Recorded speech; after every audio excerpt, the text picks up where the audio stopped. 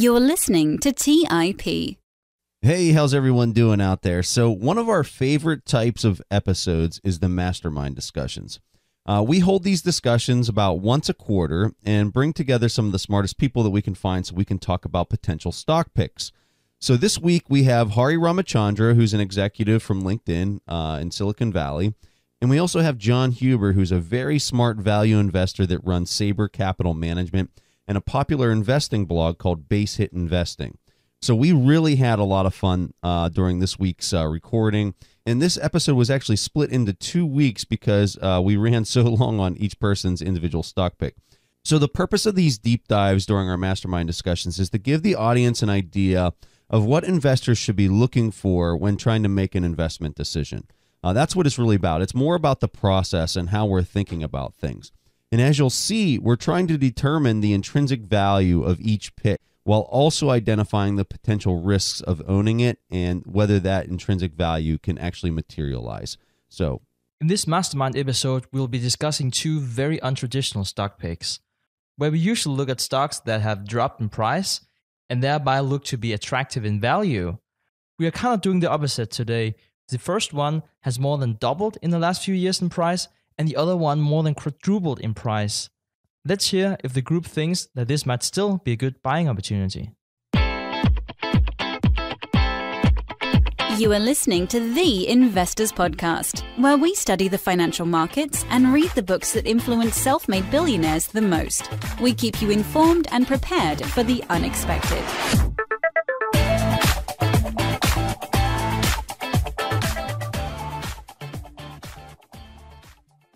All right, awesome to be back with you guys. We have assembled the mastermind group, and uh, we got a couple changes this week because Toby Carlisle's out. He wasn't able to make it. He had something that popped up.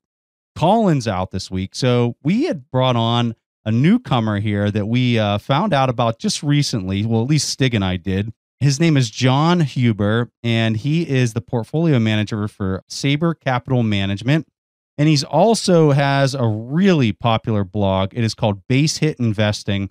I'm sure most of our audience knows about your blog, John. It was funny because Hari got onto the net and he just started talking to John here whenever we all got connected. And of course, those two already know each other because Hari, you know, he works at LinkedIn, so he knows everybody. He's connected to everybody. So uh, Hari Ramachandra from Bits Business is with us, and of course Stig and myself. We're ready to do this. So thanks, guys, for making time to come on for the mastermind discussion, and we're looking forward to hearing your thoughts. Likewise. All right. So, what we're going to do is, like we said in the introduction, we're going to be covering our number one pick that we're kind of seeing in our filters and what we're coming up with that we think might be a viable investment opportunity. Even though the market is very high, sky high pricing right now, Shiller PEs at about a 30.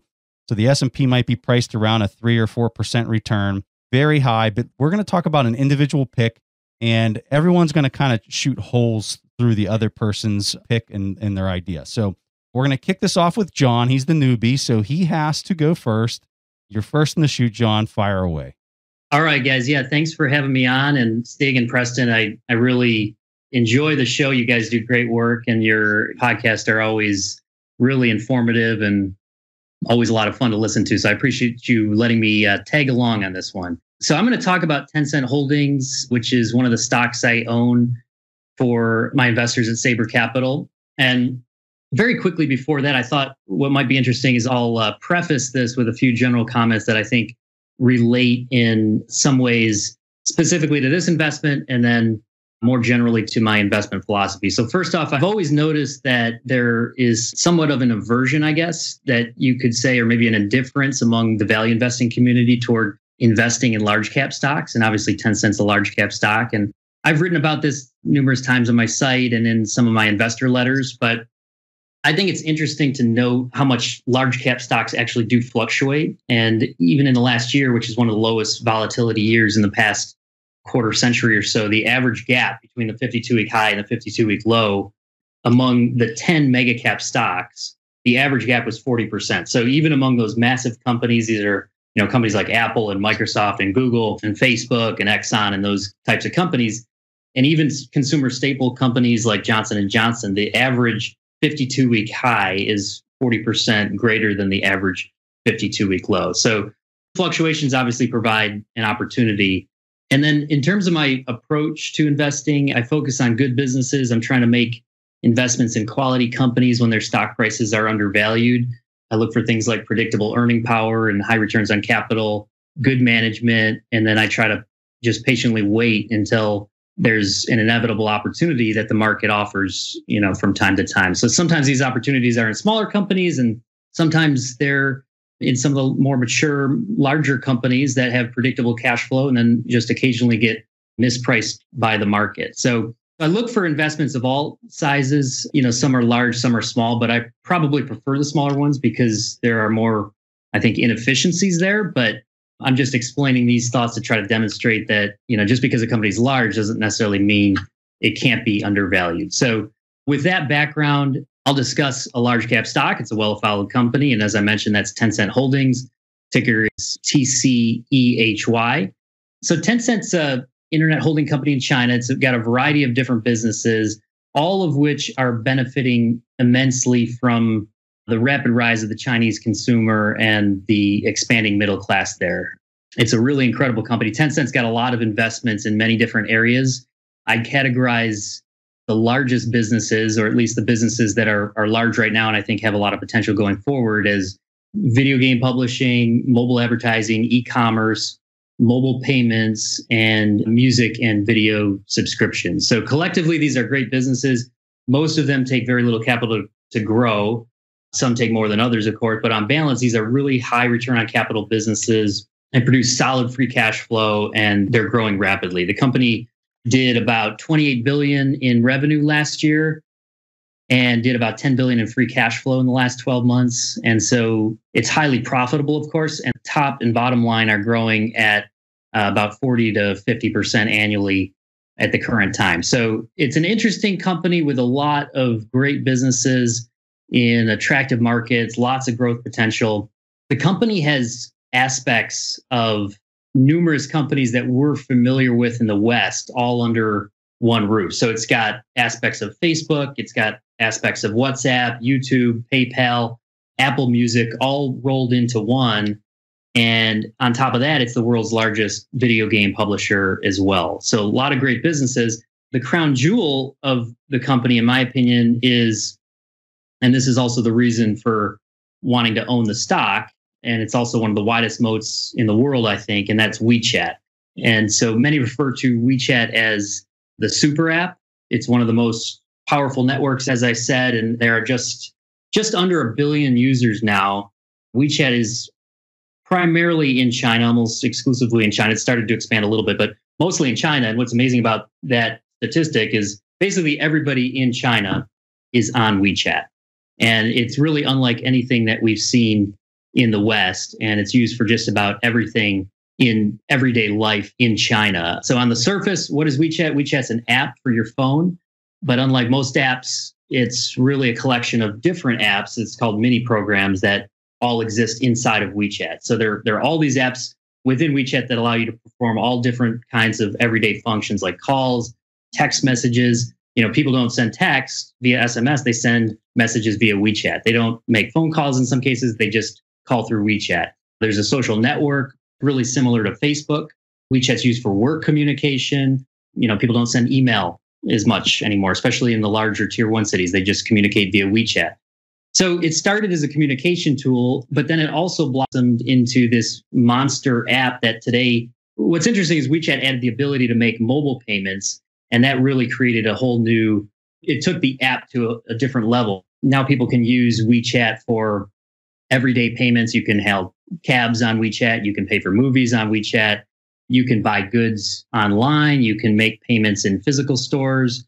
And basically anything that involves a commercial transaction can be used through WeChat. And WeChat Pay is actually now one of the larger mobile payments platforms in China. It's the second largest behind Alipay, and it's rapidly taking market share. I think it's up to close to 40% market share in China now. So it's it's a really incredible platform that has a strong network. You know, a billion users attract a lot of businesses. There are now, I think, 300,000 businesses that accept payments via WeChat. So it's a very powerful network that continues to grow.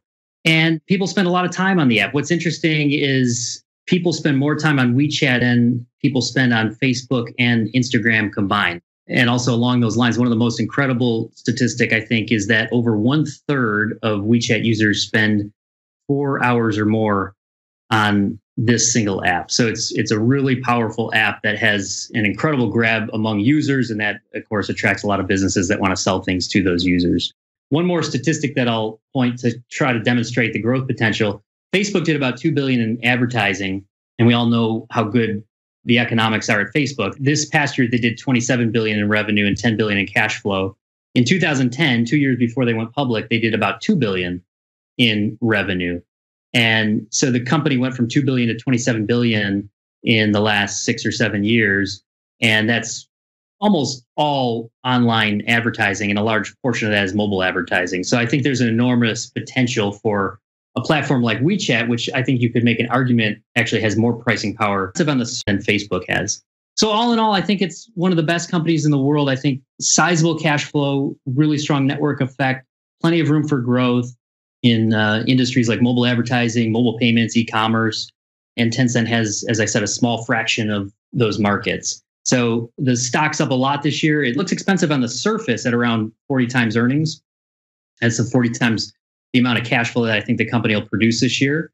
But I think it could actually still be undervalued. And the reason is that if you forget about the size of the market cap, which usually becomes an anchor at this size, it's $400 billion, and you just look at the company's earning power and you look at the returns on incremental capital that it produces and again the growth potential that it has i think you can make a case that the company will continue to grow its earnings and its intrinsic value and I think the stock price will likely correspond more or less to those gains in earning power and gains in intrinsic value over time. So, you know, sometimes 40 PE is expensive. Usually it is. And, you know, I think in rare cases it, it can be cheap.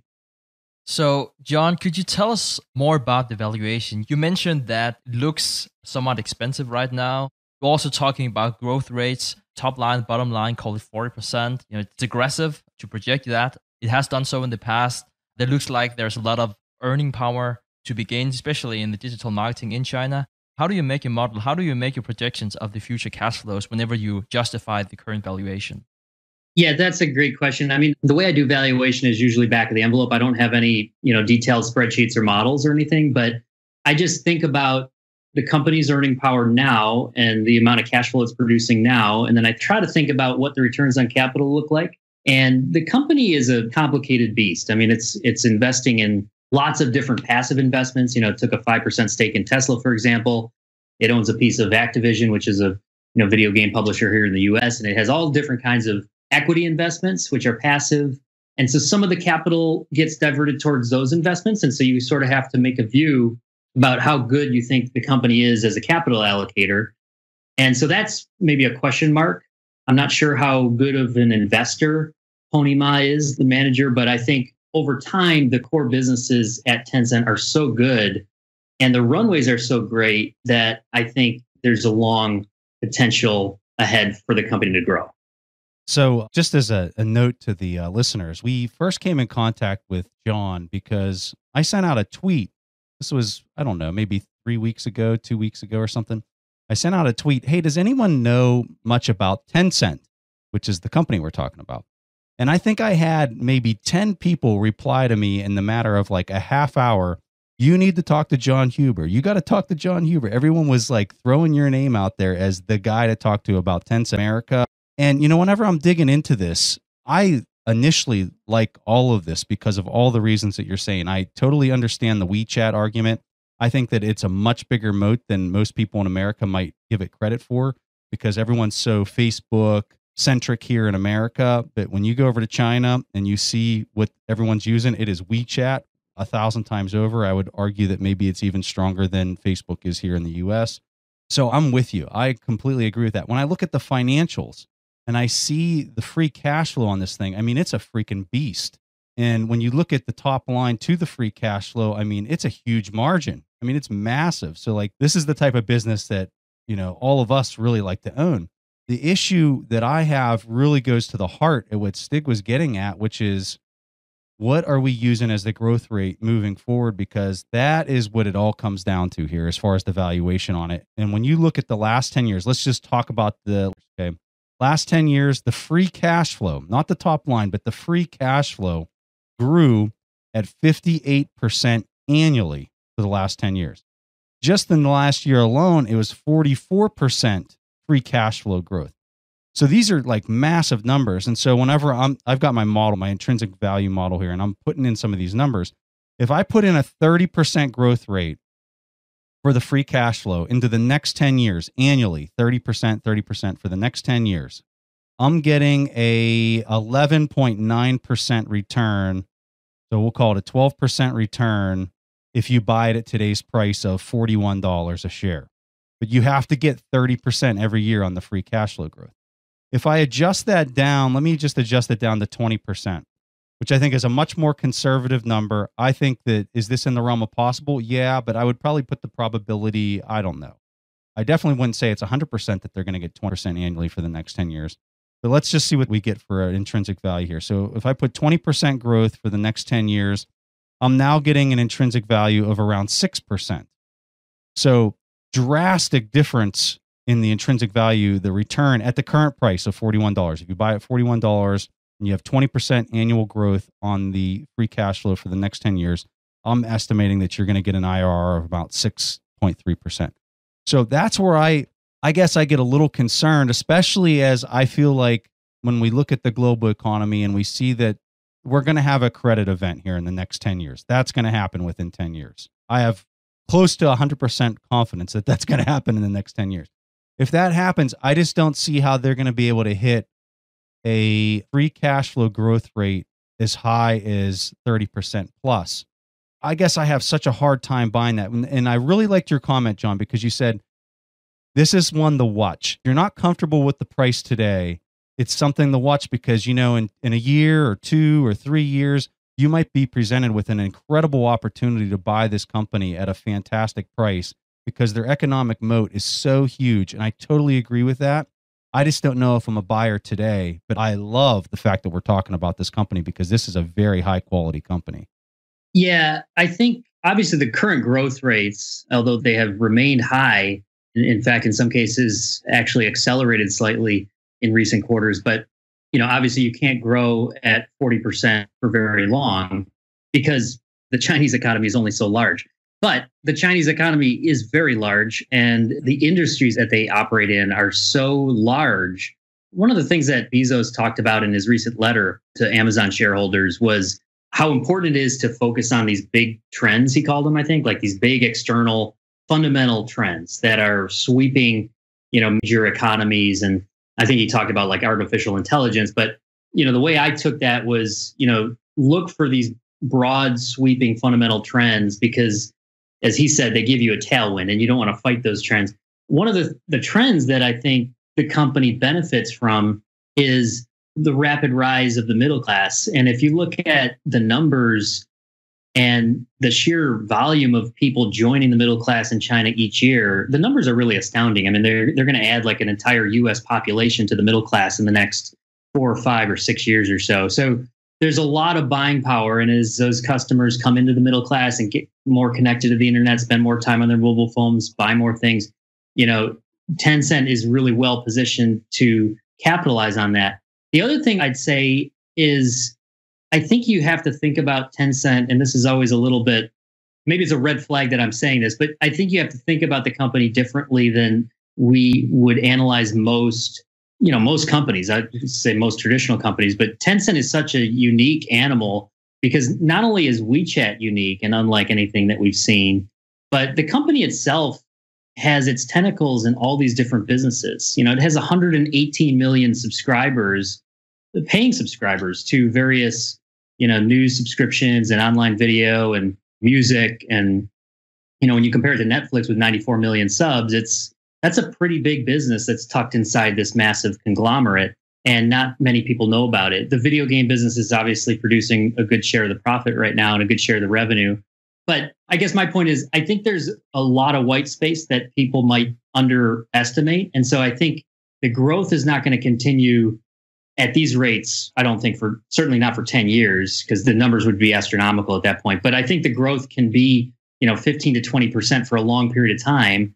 And the valuation that the market places on that might not be 40 times earnings, but you know, this is a capital light business that I think will be valued at depending on where interest rates go and general valuations go, I think it's going to achieve a premium valuation because of the quality of the business. And I do think that earnings can grow for quite a long time at not 40%, but you know, maybe even half that would give you a pretty nice return over time.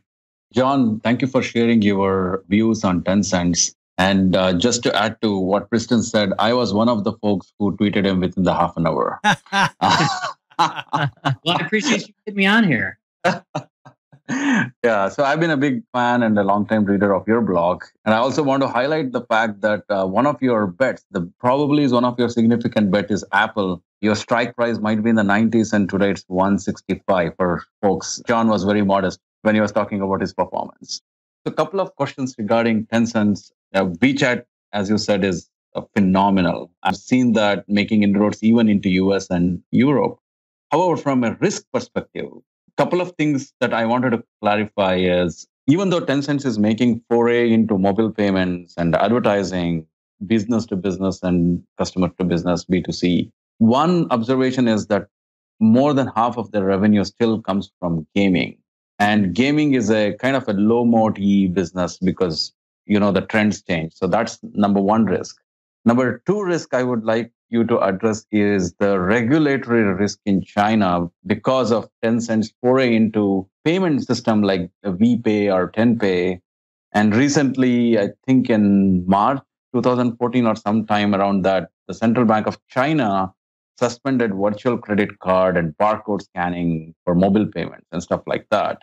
So they're kind of hostage to the regulations changing in terms of their payment. So I wanted to get your thoughts on these two risks. How significant are they for Tencent? And what are some of the steps that Tencent is taking to address them?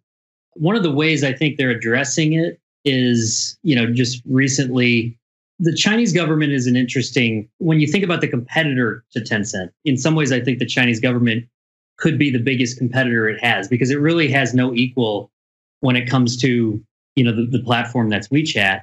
And I think in a market economy, if it were a you know a complete market economy as opposed to a planned economy, I think uh, the growth would be much more certain. One of my questions is how big will the party allow this company to be? How much money will they allow it to make? And one of the risks is, you know, that the government basically goes to guys like Tencent and Alibaba and JD and say, look, you guys have benefited from all of these investments that we've made in IT and building out, you know, the infrastructure that allows you guys to provide your services to the users that you have. And so we're going to force you to invest in China Unicom, for example, which is one of the state-owned telecom companies that recently there was a deal announced and there's some complications going on right now, but it looks like Tencent and Alibaba and JD and a couple other tech companies and a couple other companies are going to basically make an equity investment in that company to help finance the 4G expansion and the potential 5G expansion and so forth. So, you know, one of the risks is that they just go to these cash rich companies and use them as piggy banks to sort of finance the growth that the country will certainly need. And, you know, there's a lot of debt in China right now. There's a lot of government debt and there's potential issues there. And I think there'll be a lot of bumps in the road, but my overarching view is that China is trending from a planned economy toward more of a market economy. And there's going to be bumps in the road, and there might be, you know, kind of cycles that sort of work against that. Xi Jinping, this is an election year in China, and Xi is accumulating power, and a lot of people are concerned about that, and rightly so. And I think so, in some ways, they might be temporarily moving away from that. But I think in general, the country is getting more capitalistic you know, if you look out 20 or 30 years, that's going to continue. And I think these big companies are in some ways on the other side of the coin viewed as like national champions in China that, you know, China wants these companies to do well. They want Alibaba to do well and expand overseas. And they they'd like to see Chinese company, I think, I mean, I think they'd like to see Chinese companies make inroads into Europe and make inroads into the US market and potentially compete with companies like Amazon and others that dominate you know the rest of the world. So I do think it's becoming more globalized, and I think these companies will continue to do well. But you certainly outlined a risk, and certainly you know a risk that you have to think about and address. So I know that soccer is probably not like a, a big sports there for my uh, American friends, but soccer is a is a huge deal here in Europe. And one of the interesting things that had happened since Xi Jinping, uh, the Chinese president, came to power is that a lot of money is flowing into Chinese soccer at the moment. So many of the best players, they're just simply going to China because they can make more money. And if you track where the money is coming from, it's not coming from the government, it's coming from its massive corporate investments. And whenever I saw that, I was thinking, this doesn't make any sense. Why would corporations pay so much to see good soccer players? I mean, what's that all about? It's simply such a huge prestige project from the president to have a really good football league because they want to do good at the World Cup. So what the corporations are doing is that they are buying these players not so much just so they can enjoy them play, but simply to gain favor with the government. And it just tells me something about the culture and the, I guess, the unpredictability. Not so much in the sense the way that the Chinese system works, because you typically, when you're president or you're secretary of the Communist Party, you'll be sitting there for a long time. And the underlying basis of unity is the same in China. But each president has his own prestige projects that they're just throwing so much money after. So, my question to you for the political consideration would be what's the relationship and what can you see go wrong specifically about this company? Is that something we should be extra worried about, or is there some kind of history, which is very important in the Chinese culture, that can give you more stability than otherwise would? Yeah, that's a good question. I mean, I, I think the relationship between Tencent and the government, from what I can tell, has been good. And I think Tencent has, for the most part, I think done things to try to certainly abide by the rules, but abide by the spirit and the preferences that the party has.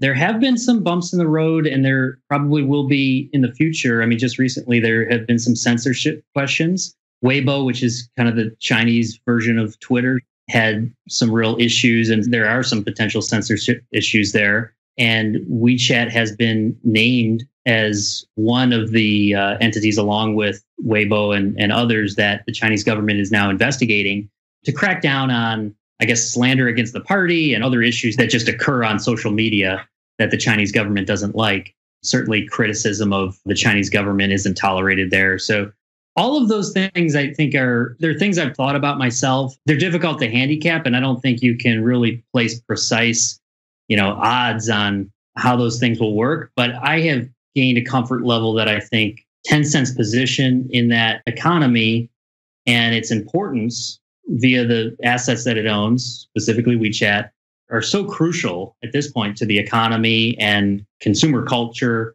that I think in general, I think the Chinese government understands that. And I think a lot of the incentives are aligned there. You don't want to upset the apple cart too much when it comes to WeChat because you're going to have a billion people that are really upset. Now, there's some things that you know the Chinese government can do outside of shutting down WeChat or you know limiting WeChat or censoring WeChat somehow, and they're they're doing censorship right now on certain platforms. But you know there are economic things like I talked about with the China Unicom investment. You know they can go to these guys and basically extort them for money. You know if they want to in, in certain ways, or force them to make investments that they wouldn't make you know, if they had their own complete free will. So all of those things are things that you have to consider. And those are things you just kind of have to kind of handicap on your own, but they are risks. You know, Stig, when I think through your question, which I think is a really good question, because we've seen so many Western companies try to go to China and it just always turns out to be a disaster. Whenever I look at this, the fact that the origin of the company is Chinese and that it's grown from that foundation, I think says that brings a lot more comfort to me personally if that was a risk that I was concerned about. I have a lot more confidence knowing that it originated as a Chinese company and it's grown into this large holding company than if it was Yahoo that went over there with a new product, had competed really vigorously and done well. I'd be much more concerned about that because the roots were tied back to some Western or some other country outside of China. So I guess for me personally, that's how I'd be looking at it. I don't know if John would agree with that, but yeah, I mean, the other thing, Preston, is the Chinese firewall. I mean, basically, internet companies, in large part, haven't been allowed to come into China. Some have tried and gotten kicked out, or some have tried and failed. And even retail companies like Amazon has, I think, you know, one and a half percent market share in China. So it's very difficult for outside companies to do business there. And there are laws that basically restrict foreign ownership of certain companies, which has resulted in the corporate structures that some of these companies have. But basically, yeah, I would agree that I think the government would prefer, certainly when it comes to IT and banking, mobile payments, probably e-commerce. You know, these these are industries that the government wants Chinese homegrown companies to dominate the market there. All right, guys. So we got through one company, and so we're doing well here. Stig, did you want to go next? Sure. So my stock pick is Fiat Chrysler, and the stock ticker is FCAU. And this stock first came on my radar because it was one of Mohnish Pabrai's picks. And uh, Pabrai, he bought the stock at around three of cars, and now it's trading around 15. As you can all see, I'm a very, very slow learner. Whenever I, I saw the uh, the company, you know, it was kind of doing a turnaround. It it has its its structure that it has now since uh, 2014. The brands that most people are probably familiar with Alfa Romeo, Chrysler, Jeep, Dodge, Fiat, obviously, Maserati, more expensive car, and then also Ram trucks. Since that, they have the new structure. They also been spinning off Ferrari back in 2015. That was settled in early 2016. If you look at how the company is making money, where they make the revenue, 80% of the revenue is in NAFTA and then also in, in Europe. In NAFTA, they are the fourth biggest with a 12.6% market share after GM, Ford, and Toyota. Uh, Europe, somewhat smaller, only 6.5% market share, where they're trailing Volkswagen. It's a very uh, competitive industry. It's characterized in general by somewhat smaller margins. It's typically an industry you wouldn't like. It's uh, it's capital intensive, uh, unionized labor, a lot of bad stuff uh, for for many value investors when they look at this if you dig even deeper into uh, where the money is made, not just the revenue, almost all the money or the income they're made in, in NAFTA. They're expanding, so they're big. They're big in Europe, but they're also expanding into other continents. But uh, they're really not making any money there. And so we're recording this at the end of uh, of August, and as people probably already know, there's been a lot of rumors about Fiat Chrysler about perhaps selling off the the Jeep division to uh, Great Wall Motors. We also there's also rumors about Maserati and Alfa Romeo brand spun off. So a, a, lot of things are happening right now, and there's a lot of noise uh, right now. The the stock has been soaring uh, lately. I'm I'm really sorry that that we have to do the uh, uh, discussion now, and probably not just a quarter ago when when the stock was a lot more attractive. If we look at the valuation, we're looking at a market cap around twenty nine billion dollars. I always like to compare this to Tesla. Every time we talk cars on the show, Preston and I always talk about Tesla, which is sort of weird because Preston and I are a huge fan of Elon Musk and of Tesla cars. We just always bash the valuation. So, so $29 billion for Fiat Chrysler, $58 billion for Tesla. If you look at how much money they're making, for instance, Fiat Chrysler, they're making 3.3 billion USD trailing 12 month. And Tesla, they're making a negative 766 million. So they're definitely valued differently. A lot of good reason why they're valued differently. I think a lot of people would say Tesla is the future. Red flag with Fiat Chrysler is that I really haven't seen a good plan for electrical car division. Uh, what they're going to do about that, it's another concern that we can address later. And in general, the industry has just have a really rough time. I mean, you can also look at something like GM as a good example, bankrupt in 2009. I mean, so all the competitors, the traditional competitors, they're trading at low margins.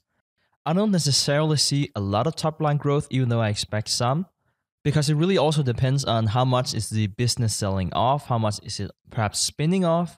I see a lot of the value also coming from improved margins. So I still see the company as significantly undervalued. Perhaps if you aggregate all the different factors, an intrinsic value in the range between call it 25 and 40 dollars in its current structure so before i give the rest of my pitch i'm very curious to hear what the group has to say. I guess i'm just looking at the valuations on this one a little bit different than stig. So the my big concern with the whole car industry is the inventory levels are just through the roof. I mean they're they've got they're sitting on so much inventory it's absolutely insane when I'm looking at this company in particular, and you were talking earlier when we were talking about John's pick, you were talking about these tailwinds. So like, hey, what's the next 10 years going to look like? In 10 years from now, if we could warp ourselves, what's it going to look like? Well, I think the driverless car thing is going to be huge. I think it's going to be absolutely massive. If you go on and you do a Google search for Fiat Chrysler, you know, driverless car technology, anything, you you practically get nothing they're just sitting back and watching this this thing go completely by. I guess they did some teaming with BMW for whatever that means, but for the most part, from what I can understand, they are so far behind this this learning curve. It's not even funny. When I think about the margins that are going to happen in the auto industry in the future, I think that all the money is going to be in the software side, not on the hardware side. And I think that there's going to be a very massive delineation of that moving forward into the next 10 years where you're going to have these car companies that have tons of software that is adding huge amounts of value. We could get into the whole argument of time sharing cars. 10 years from now, I don't find it to be that too far fetched to think that you might be able to get out of your car and then that car can go and perform a service for the rest of the day I did a little uh, research on this one for the stats here. The average person uses their car for 46 minutes in a day. That means that you're using, you're paying for a vehicle, you're paying for maintenance, the liability, the storage, the fuel costs, the insurance, all that stuff, the depreciation that happens at 60% over a five year period. You're paying for all that to use something for 3% of the day. And I think that that's all going to change. I think in 10, 15 years, that's all going to change. And I think you're going to have timeshares with cars and all that kind of stuff. Where is that going to happen? Which companies are going to be on the tip of that? When I look at that, I think Apple, they're sitting on just ridiculous amounts of money to invest. Google, ridiculous amounts of money to invest. And when you think about the technology that a company like Fiat Chrysler brings to the table, what what technology are they bringing? Like technology from like 50 years ago? Is that what they're bringing to the table? Because that's how I see it, which is completely a commodity. Whenever I'm looking at this, I think the best case scenario for me when I'm talking valuation is a 0% growth in their free cash flow and then into the next 10 years. I would say 0% growth. So with the 0% growth, the numbers I'm getting is a 6.4% return. I think that's being nice to say it's a 0% growth. If I was going to really kind of hit it with a much more conservative number, I would say negative 10% annual growth on the free cash flow. And if we're using that as, as the number here for the projection, we're now below a 1% return on the company. So between, so let's just, you know, ballpark it. We'll say it's between the first number and the second number. We're looking at a 3% return, which is similar to the S&P 500. So for me, I'm not willing to go into individual stock pick that seems like they're going against the headwind. You know, my risk isn't distributed across 500 picks. If I would just invest in the S&P 500, I'm not for this one at all, Stig. I, I just, I'm seeing it completely different than you. No, but that's great. I need to know why I'm wrong. That's why we have these mastermind discussions. Hari, I'm curious to hear what you have to say about Fiat Chrysler. Do you think it's a good pick? So uh, I just wanted to clarify, and I also had a follow-up question, Stig, on this one. So you mentioned Australian Mohnish Pabrai bought the stock uh, back like in 2012 or 13, I believe, and uh, his his strike price was three dollars. Yeah, yeah. He said that he uh, he bought into the stock when it was less than a market cap of five billion dollars, and right now it's trading around thirty, and that was before Ferrari was spun off what was the intention or what was his thesis to buy. I don't think Mohnish is betting on the long term prospect of this company when he's buying the stock. It's a value pick.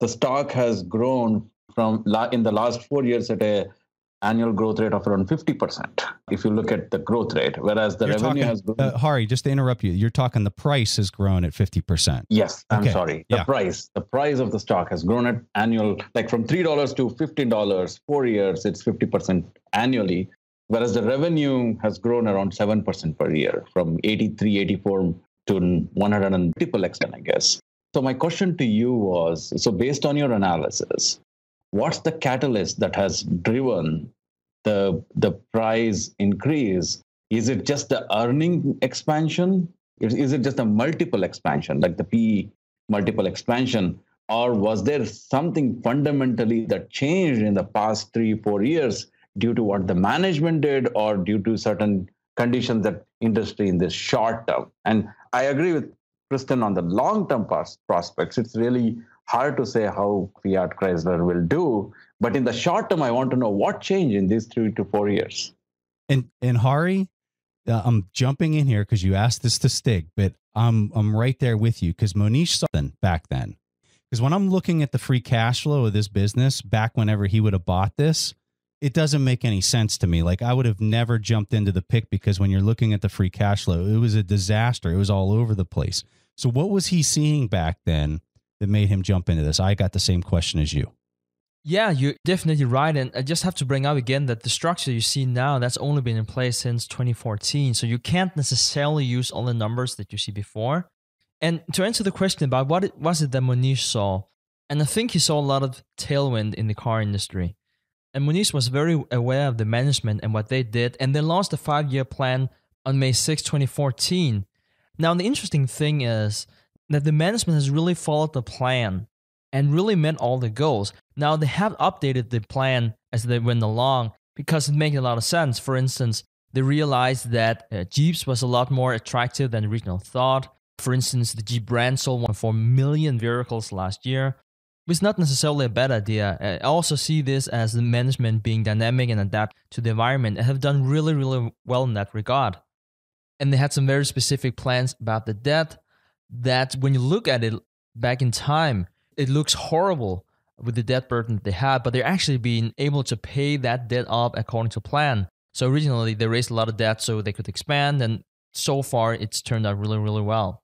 It's definitely not bad at all uh, for instance, from 2018, uh, operating margin, the goal is 7%. I think there's a good chance that they can reach that. It's now at 5.1%.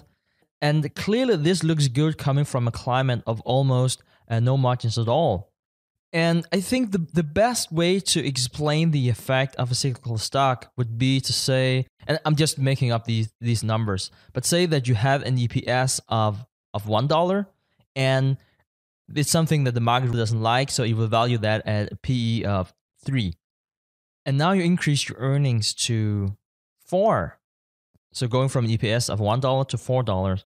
Now, when the market sees that and they see the initiatives put in place to do that, they might value that EPS of four with a PE of eight. This might sound like an extreme example, but that's how you would go from a stock price of three dollars to thirty-two dollars even though that your EPS only increased four times.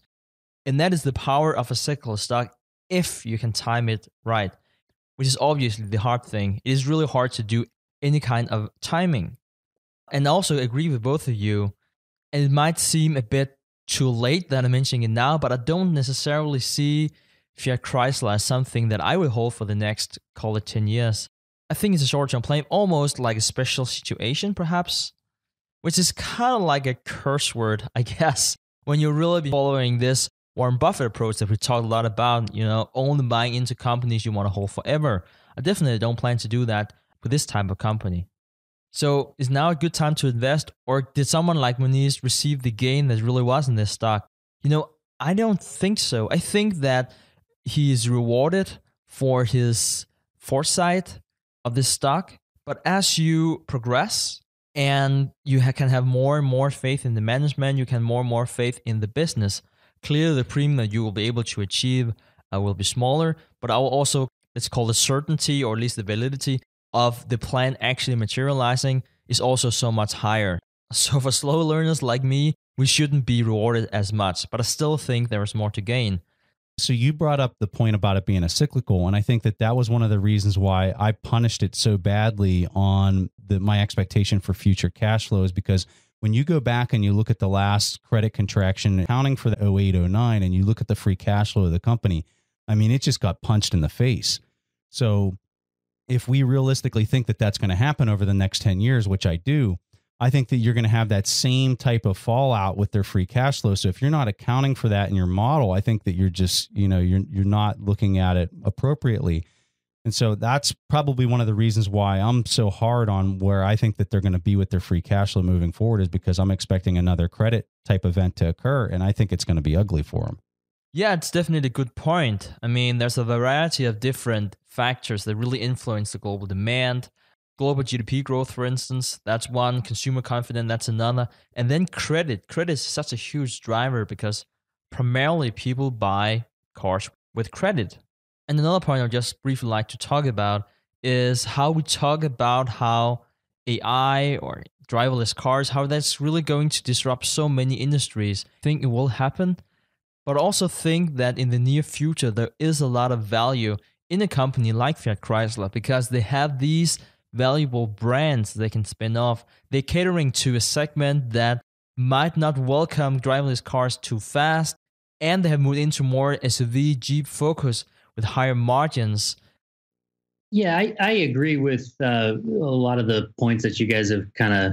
Uh, I'll, I'll just kind of echo some of the concerns I have about the the business itself. I've I've looked at sort of casually looked at the automakers. I every time I look at them, I I just look at how difficult the business is when you look at the economics of the business and Stig, you pointed this out. It's just a it's an extremely capital intensive business. They tie up a lot of working capital.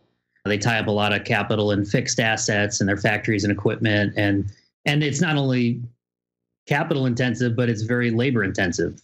So it seems like every time the, the business begins to make money, you know, the unions come in and, and want a piece of that pie.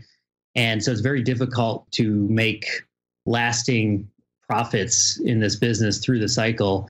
The other thing that I've noticed, and I think you pointed this out how how good Marchionne is at Chrysler, but in general, it seems like the auto businesses are always so focused on defending their market share, and they're so focused on the top line.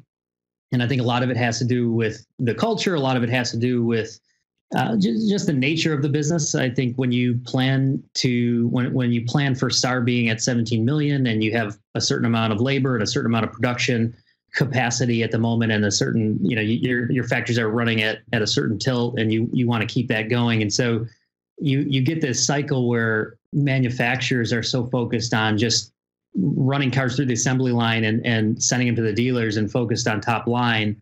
And then you get this discounting environment and prices coming down. And so it's it's a very difficult business ultra competitive. But having said all that it it is interesting. And you pointed this out about what Pabrai said but you know i was actually i heard an interview of uh, maybe a month or two ago with him and he talked about how he made fivefold return on his fiat investment. And i had to go back and check because i was really shocked by that that his returns were so high investing in such a mediocre or you know some might say a, a kind of a lousy business. Ferrari spinoff was a big part of that. But it is interesting to to look at cyclicals and i don't really look at a lot of cyclical stocks but I, I think there is a case to be made for investing in these types of stocks when you know times are really bad when conditions are terrible. And I, you know peter lynch used to say this that you know when times are bad you want to buy or you know you want to buy cyclicals when times are bad and earnings are low and thus the pe ratios are actually high. One of the things that makes me a little nervous about the car companies right now is we're at or maybe not quite there but you know just past the peak of the cycle potentially and but we're near the peak and car companies are still running on you know near record profits and pe ratios are mid single digits. And so my concern is you know uh, where we are in that cycle and you know what the earning power looks like you know 3 or 4 years from now. John i think you hit the nail on the head. You know going back to hari's original question what was mohnish seeing that made him pounce on this at the exact right time he was looking at this Peter Lynch idea of if you're going to invest in a cyclical, find the absolute best company in that field run by fantastic management that has the best financials that's being punished because it's going through this cyclical change and everyone hates it and buy it at that at that moment. And you know, when you look at when he would have done this, that's exactly what he was doing. The you know, I, I read a I think he I think Marchionne wrote a, a report called I think it was called Confessions of a Capital Junkie. Um, I may be getting the name of that wrong, but he basically wrote a paper. It was interesting because it showed me that he was cognizant of the natural problems or the you know the the nature of his business, which is a very capital intensive business, and car companies produce low returns on capital. And his basic argument was, "Hey, we need scale, so we can get together and and share."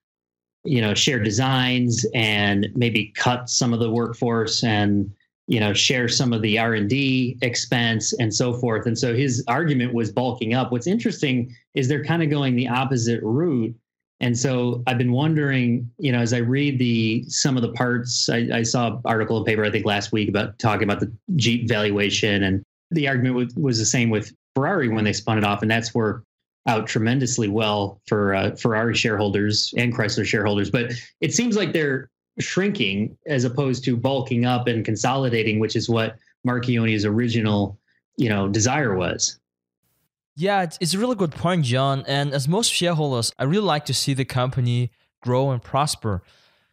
But as an investor, I also think what is the best financial result here? It might be to shrink because it really depends on the price.